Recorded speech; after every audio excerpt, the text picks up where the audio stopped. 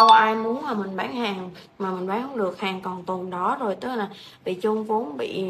âm lợi nhuận đâu. Thế nên là à, phải đưa ra những cái biện pháp cụ thể để khắc phục được những cái tình trạng này.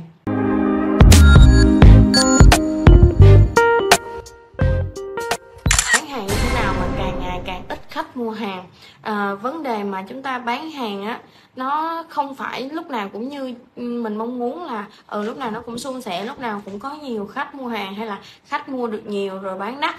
Tuy nhiên là nó vẫn sẽ có những cái giai đoạn khác nhau nhưng để làm sao mà duy trì được cái doanh số cũng như là hạn chế gặp phải cái tình trạng là ừ, có ít khách hàng hoặc là khách hàng có nhu cầu mua rất là ít rất là thấp thì chúng ta phải sử dụng một số cách. Thì hôm nay mình sẽ chia sẻ cho các bạn à, những cái cách để các bạn có thể khắc phục được tình trạng này cũng như là à, duy trì được cái doanh số của mình. Cái việc duy trì doanh số khách hàng cũng rất là quan trọng ha. Và đó cũng là một trong những cái khó khăn mà chúng ta sẽ gặp phải trong suốt một cái quá trình à, kinh doanh.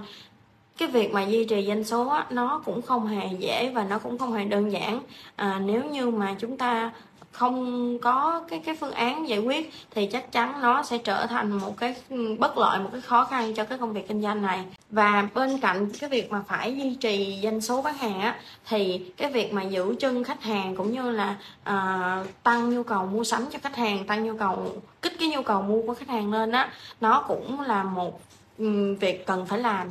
Nhưng mà nó cũng rất là khó khăn không phải dễ dàng để thực hiện được điều đó. Và nếu như mà chúng ta không có giữ vững được cái doanh số bán hàng không duy trì được doanh số bán hàng cũng như là không tăng cái nhu cầu khách hàng lên không à, làm sao để cho cái doanh số nó có thể đưa lên một con số đột biến hơn thì có thể là nó sẽ dẫn đến tình trạng là tồn hàng rồi chôn vốn. Mà đương nhiên khi mà bước ra kinh doanh mua bán á, thì không có ai muốn gặp phải tình trạng là tồn hàng chôn vốn hết đúng không? Đâu ai muốn mà mình bán hàng mà mình bán không được hàng còn tồn đó rồi tức là bị chôn vốn bị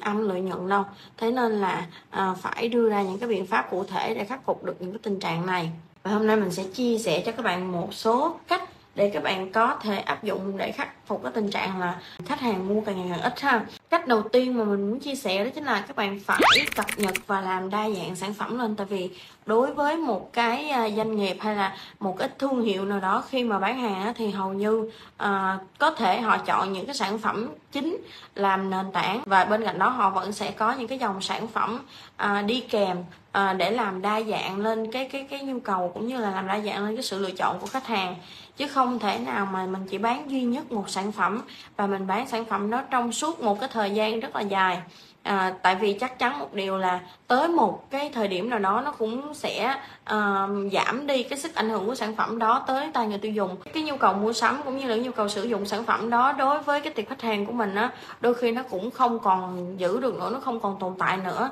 Thì khi mà họ không có nhu cầu và họ cảm thấy nhàm chán với sản phẩm thì tất nhiên là họ sẽ không bao giờ mua và họ sẽ bỏ qua cái cái cái sản phẩm đó không còn nhớ đến cái sản phẩm đó nữa. Cũng có thể ha. Thế nên là khi mà mà mình phục mất một cái cơ hội làm cho khách hàng nhớ đến mình hay là ừ, làm đa dạng sản phẩm lên á thì tức là mình đã bỏ lỡ cơ hội để bán hàng rồi. Cho nên là cái việc mà làm đa dạng sản phẩm lên uh, làm cho nó nó sinh động hơn cái cái tiệp um, sản phẩm của mình cái danh sách sản phẩm của mình á thì nó cũng là một việc hết sức cần thiết. Và um, cái sản phẩm của mình đôi khi nó cũng phải uh, thuận theo cái nhịp sống hàng ngày nữa, tức là nó có thể là bắt theo trend nè, theo xu hướng nè, hoặc là có thể cập nhật uh, theo thời tiết theo uh, xu hướng về màu sắc của thế giới. Tóm chung nếu như uh, ngành thời trang nói riêng hoặc là tất cả những cái ngành hàng khác nói chung á thì cái việc mà bắt cặp theo xu hướng của thế giới nó rất là quan trọng. Và nhất là đối với ngành thời trang thì cái việc mà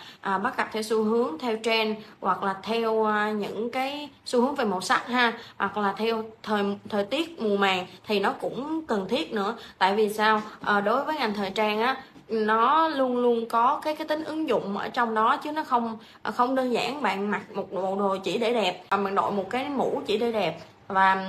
không đơn thuần là ừ mang đôi vớ chỉ để cho nó êm cái chân hoặc là mang đôi dài chỉ để cho là không phải đi chân đất. Tóm chung là à, trong thời trang thì luôn luôn có cái tính thẩm mỹ cao đề cao cái tính thẩm mỹ cũng như là đề cao cái tính ứng dụng. Mà ứng dụng ở đây là ừ thời tiết như thế nào thì bạn sẽ mặc một bộ đồ một cái outfit nó phù hợp để thứ nhất là cho cơ thể của bạn cho cái cái sự tiếp xúc um, của bạn nó dễ chịu nè nó dễ chịu nó thích ứng tốt nè và nó bảo đảm bảo được sức khỏe của bạn nè. Rồi bên cạnh đó thì nó cũng phải đảm bảo về cái tính thẩm mỹ. Tính thẩm mỹ ở đây là ở khi người ta nhìn vô người ta thấy à ừ, người đó mặc bộ đồ rất là hợp thời trang hợp ừ,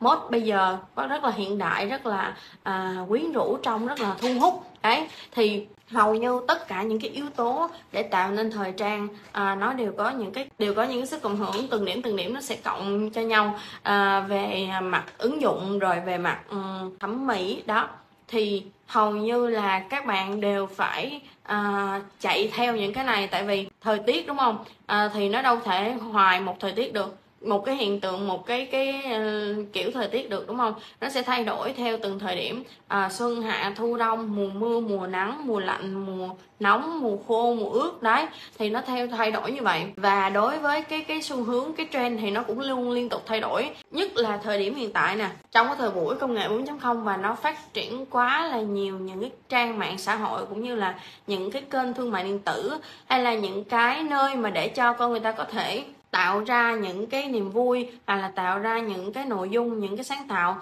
à, đại loại như là những cái trang mạng xã hội như là tiktok facebook đó. Thì hầu hết những cái cái trang mạng xã hội này á nó luôn luôn tạo trên bất cứ lúc nào có thể. Thế nên là trend nó không còn là về vấn đề là ở ừ, lâu lâu có một lần hay là sao nữa mà có thể là nó cập nhật theo từng ngày từng giờ. Nên là việc của bạn là bạn phải bắt kịp trend bắt kịp xu hướng và làm đa dạng hóa cái sản phẩm của mình lên. À, bạn đừng nghĩ Ừ, thí dụ như bạn đang ở trong một cái ngách hàng, nó có thể là nó kén khách hàng hơn so với những cái ngách khác, hoặc là cái cái diện tích tiếp xúc nó thấp hơn. Tuy nhiên là nếu như bạn có quan điểm là vì nó có thể ít tiếp xúc hơn, nó nó nó nó không được mở rộng và nó không được ưa chuộng nhiều, mà bạn cứ kinh doanh nó và bán nó theo một cái hướng rất là cổ điển, rất là, kiểu, rất là truyền thống á. Không có PR không có đa dạng hóa sản phẩm và cứ bán và chờ đợi thôi, chờ đợi khách hàng có nhu cầu tới mua thôi. Thì chắc chắn là cái việc duy trì doanh số nó cũng khó, huống gì là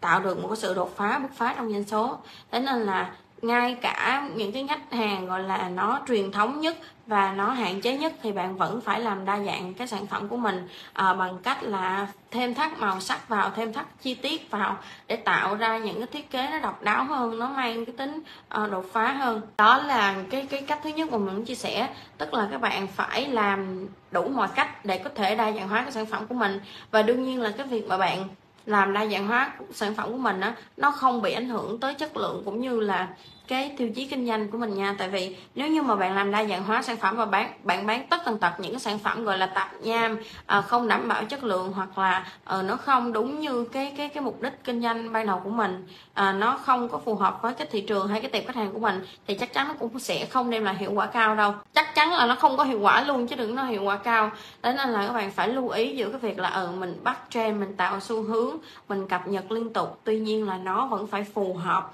đối với những cái hình thức kinh doanh mà mình đã à, đặt ra hoặc là với những cái mục tiêu những cái thị trường những cái tiệm khách hàng mình đã chọn nó phải phù hợp hoàn toàn thì nó mới có thể dễ tiếp cận. Còn chứ đơn thuần nói là ừ cứ cập nhật cập nhật miết thôi mà không cần biết nó có phù hợp hay không nó có đúng hay không thì nó lại mang một cái kết quả khác nữa. Và cái cách đầu tiên mà mình chia sẻ thì hầu như là có thể áp dụng được hết trong tất tần tật những cái ngành hàng khác nhau. Và ừ, đối với ngành thời trang nói riêng á, thì nó cũng vô cùng phù hợp. Các bạn có thể thử cái phương án này nha và cái cách thứ hai mà mình muốn chia sẻ thì đối với việc mà các bạn kinh doanh á các bạn tạo ra những cái chương trình những cái chính sách bán hàng nó phù hợp cũng là một trong những cách mà bạn kích cái nhu cầu mua sắm của khách hàng lên cũng như là uh, bạn có thể tiếp cận tới khách hàng nhiều hơn. Việc mà tạo ra những cái uh, chương trình hoặc là bán hàng hoặc là những cái chính sách mua hàng á nó một phần là giúp cho khách hàng uh, nhắc nhớ đến mình nè rồi thêm nữa là giúp cho họ kích cái nhu cầu. Đôi khi bây giờ họ đang không có nhu cầu mua một cái bộ sữa tắm tại vì bộ sữa tắm ở nhà nó vẫn còn. Tuy nhiên là bạn tạo ra những cái chính sách bán hàng là loại như là ừ, hôm nay bán bộ, bộ sản phẩm tắm gội này thì sẽ đi kèm với à, việc tặng cho bạn một set ờ, À, gọi tắm mini để các bạn có thể đem theo đi du lịch hoặc tặng cho bạn một cái túi uh, du lịch một cái túi du lịch nhỏ nhỏ. Thì đối với những cái việc mà bạn đưa ra những chính sách bán hàng nó hời như vậy nó nó nó nó có những cái ưu đãi như vậy thì chắc chắn là ừ, người ta sẽ có quan niệm là hôm nay mua thì sẽ được tặng hôm nay mua thì sẽ được thêm nhiều hơn lợi hơn và có thể là được giảm giá nữa. Nó rất là hời. Nhưng mà bây giờ xà bông ở nhà mình còn đúng không? Sữa tắm ở nhà mình còn thì mình có nên mua nữa không ta? Và chắc chắn con sẽ trả lời sẽ là có. Ừ cứ mua đi khi nào nó hết rồi thay vào xài cũng đâu có mất mát gì đâu đúng không? Nên là các bạn cứ việc tạo ra những cái chính sách bán hàng. Việc tạo ra những cái chính sách bán hàng á,